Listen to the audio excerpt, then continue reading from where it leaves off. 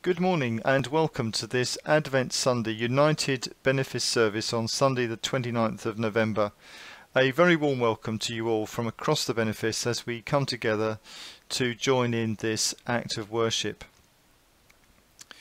A few words of thanks before we start our service.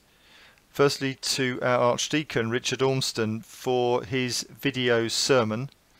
Thank you Richard once again for sharing your thoughts with us in this way and for contributing to our service. We greatly appreciate it. And as we come to the end of this period of interregnum, we also want to say a warm thanks to you and the support that you've provided to many of us throughout this period. Our readers this morning are Courtney, who is from Crick, Laura from Lilbourne, and our prayers this morning are led by Heather from Yelvertoft.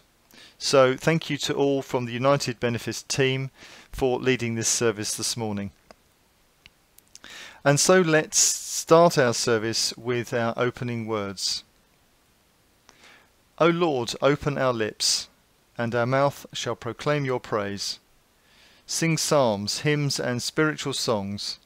Sing to God with thanksgiving. Praise the Lord, all you his people. The Lord's name be praised. Let's join together to sing our first hymn.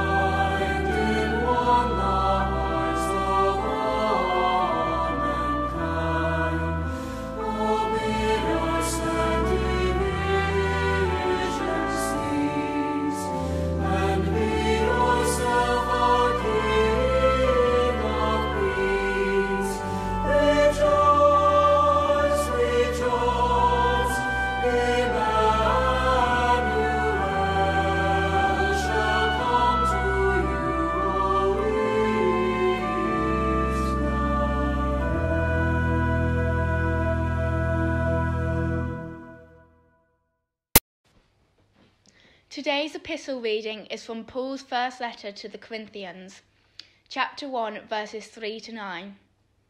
Grace and peace to you from God our Father and the Lord Jesus Christ. I always thank my God for you because of his grace given you in Christ Jesus. For him you have been enriched in every way, with all kinds of speech and with all knowledge. God thus confirming our testimony about Christ among you. Therefore, you do not lack any spiritual gift as you eagerly wait for our Lord Jesus Christ to be revealed. He will also keep you firm to the end, so that you will be blameless on the day of our Lord Jesus Christ. God is faithful, who has called you into fellowship with his Son, Jesus Christ our Lord. Thanks be to God.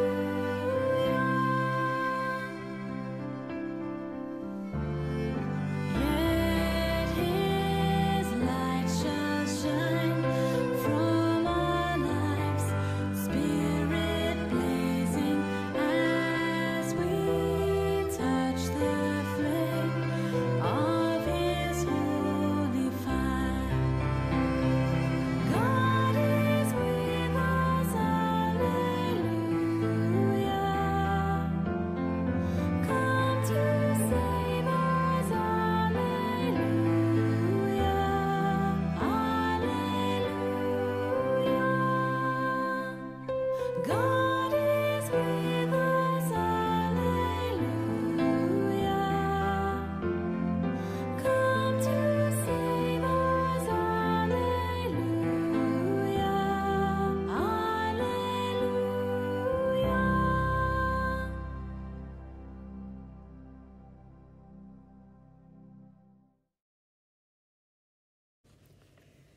Today's Gospel reading is from Mark chapter 13, verses 24 to 37.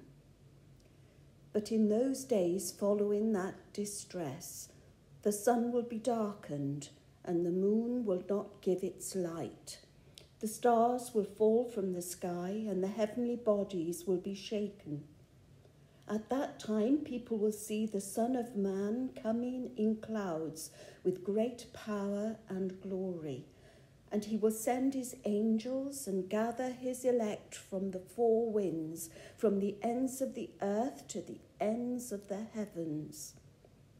Now learn this lesson from the fig tree. As soon as its twigs get tender and its leaves come out, you know that summer is near. Even so, when you see these things happening, you know that it is near, right at the door. Truly, I tell you, this generation will certainly not pass away until all these things have happened. Heaven and earth will pass away, but my words will never pass away. But about that day or hour no one knows, not even the angels in heaven, nor the Son, but only the Father. Be on guard, be alert. You do not know when that time will come. It's like a man going away. He leaves his house and puts his servants in charge, each with their assigned tasks and tells the one at the door to keep watch. Therefore, keep watch because you do not know when the owner of the house will come back, whether in the evening or at midnight or when the rooster crows or at dawn. If he comes suddenly, do not let him find you sleeping. What I say to you, I say to everyone watch. This is the word of the Lord. Thanks be to God.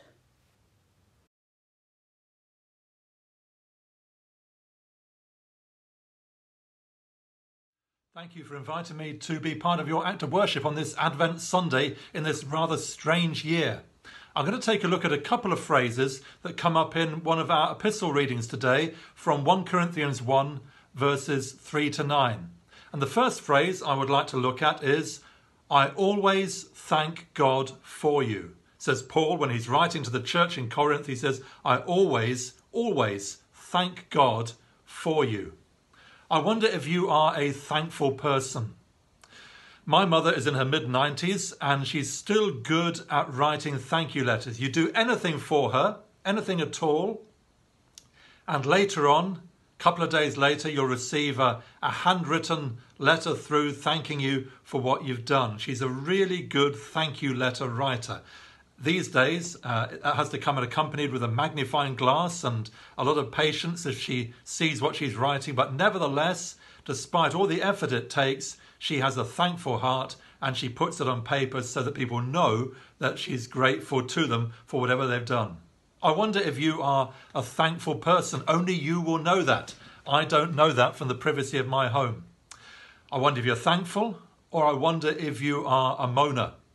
Huh, that was straight, wasn't it? I wonder if you're thankful to God, and I wonder if you're thankful to God for your brothers and sisters in the faith. Because Paul says, right into the church in Corinth, I always thank God for you as a church. So I wonder if you in turn thank God for your brothers and sisters. If you do, if you are a thankful person, and if you are grateful in your heart to your, for your brothers and sisters in the faith, I wonder how you show it. Do they know that you're grateful for them? Do they know that you're a, a thankful person? Do you, do you speak words of thanksgiving? Do you build up the church by showing your appreciation for those around you and showing your appreciation and gratitude to God as well. I wonder that thankfulness kind of spills out around you for, for everyone to see. I, I wonder if everyone is showered in your spirit of thanksgiving. I remember years ago, I was at a, I was probably in my teens, I was at a service station on the motorway with my brother who was driving me somewhere or other, I can't remember. And I got a bottle of Coke and I thought it'd be really funny to shake the bottle of Coke up and then take the top off, put my thumb over it, and get in with the Coke. He saw what was coming and moved smartly out the way, by which point I ended up drenching the man on the bench who was sitting just behind where he was. Not a popular moment, but he was drenched in it and we all got covered one way or the other. One of the Psalms, I think it's Psalm 133, speaks about us being thoroughly drenched in the grace of God. I wonder if you are those one of those who thoroughly drenches people in a spirit of thanksgiving, that you are known as a thankful person and that affects the morale of everyone. In the New Testament, Barnabas is spoken of as a son of encouragement. I wonder if you are a son of encouragement to those around you. And secondly, the second thought I have for you is also from this uh, epistle, and it says, God who has called you is faithful. God who called you. Isn't that brilliant? God called you, and He's a faithful God who called you. I think that's absolutely brilliant that God calls us Himself. In Jesus' day, when He walked planet Earth, Um, some of you are going to tell me he still does. I know that. But in Jesus' day, when he physically walked planet Earth, um, those that those boys, it was only boys in those days. Sorry, those boys who went to Jewish boys who went to a formal education and who were the very brightest would, by mid-primary school years, have learnt by heart Genesis, Exodus, Leviticus, Numbers, Deuteronomy off by heart. Wow. And those who are the best of the best would have gone on to what we now call secondary school and that have learnt off by heart Genesis all the way through to Malachi. That's the whole of the Old Testament off by word, off by heart, word for word, verbatim, that have known the whole thing. Amazing. And then the very best of the best of the best of the best, you get where I'm going, would have gone on to be a disciple of a rabbi. And they'd have gone to the rabbi who was most in their mind, and they'd have the rabbi would have questioned them one question after another to see their knowledge of the scriptures. On and on and on it would go. And if at the end of that questioning, this kid who was in front of the rabbi wasn't quite up to it, the rabbi would say to him, Go back to your father and le- learn his trade. But to the others, who were the very best, who he wanted to take on as a disciple, he would say, Follow me. Remember those words from Jesus to the disciples? Follow me. And so when Jesus, the most famous rabbi of his generation, walks down by the Sea of Galilee, he sees a group of fishermen. So they weren't the best of the best. They were following their father's trade. And yet he says to these fishermen, Follow me. The, the most wonderful, best known rabbi of his generation saying to these fishermen, unschooled, Follow me. What's he saying? He's saying, This good news I have is for everyone, not just for the elite, not just for the best of the best, but it's for absolutely everyone, including you, including me, that God calls us and is faithful to us. Wow. Two wonderful verses. I always thank God for you. Let that thanksgiving spill out of you as you give thanks also that God calls you and is faithful. God bless you. And now we say together the Creed. We believe and trust in God the Father, source of all being and life, the one for whom we exist. We believe and trust in God the Son, who took our human nature, died for us and rose again. We believe and trust in God the Holy Spirit, who gives life to the people of God and makes Christ known to the world. This is the faith of the Church. This is our faith. We believe and trust in one God, Father, Son, and Holy Spirit. Amen. And now we say together the confession. Father eternal, giver of light and grace, we have sinned against you and against our neighbour, in what we have thought and in what we have done, through ignorance, through weakness, and through our own deliberate fault. We have wounded your love and marred your image in us. We are sorry and ashamed, and repent of all our sins. For the sake of your Son, Jesus Christ, who died for us, forgive us all that is past, and lead us out from darkness to walk as children of the light. Almighty God, who in Jesus Christ has given us a kingdom that cannot be destroyed, forgive us our sins Open our eyes to God's truth. Strengthen us to do God's will and give us the joy of his kingdom. Through Jesus Christ our Lord. Amen. Let us pray. Heavenly Father, we thank you that you sent your Son to be born among us to live as flesh. As we celebrate this Advent, help us to truly prepare for your coming. Clear unnecessary clutter from our hearts and minds. Fill us anew with your Holy Spirit. As we continue to live in the shadow of the coronavirus, unsure of what quite what form our Christmas celebrations will take, we give thanks that you are always here, giving us unfailing love and hope. Lord, give us new vision and inspiration to share your gospel with others every day, but especially as we prepare for this coming Christmas time.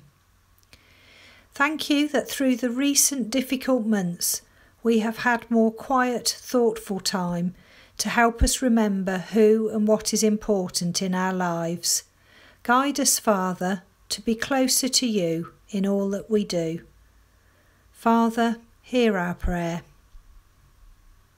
Loving Father, we pray especially for our United Benefice family. Whilst we may not be able to meet together physically, we give thanks that we can still come together to worship in your name. We thank you for all of our church families and village communities. May our homes and villages be filled with your love and the true meaning of Advent, preparation to celebrate your coming. We pray for Graham, our new rector, and his wife Judy, as they prepare to celebrate this special time, but also as they prepare for their new life in our benefice. We give thanks for Graham's appointment and pray that you will guide him. We also pray for David and Patricia as they too prepare for their new beginnings and ask that you will restore them to good health and help them to settle into their retirement. Father, hear our prayer. Caring Father, be with all who are sick, fearful, and anxious at this time. We know that Christmas preparations bring additional fears and worries to some. Be near them and help them to hear the words of the angel. Don't be afraid, I bring you good news that will be for all people. Bless our doctors, nurses, and care staff as they continue to care for all who are sick, whether in hospital or at home. Wrap all who are sick in your loving embrace and be ever present with those they love. Help us, Father, in our daily prayers to bring before you those in special need of your loving touch. Father, hear our prayer. Finally, Father, you know our hearts and share our sorrows. You know when our hearts are broken by bereavement. We remember with deep gratitude those who have left their mark on our lives by giving love and laughter, but have now gone before us to be with you. Lord, come ever nearer, come to rejuvenate our faith this Advent. Amen.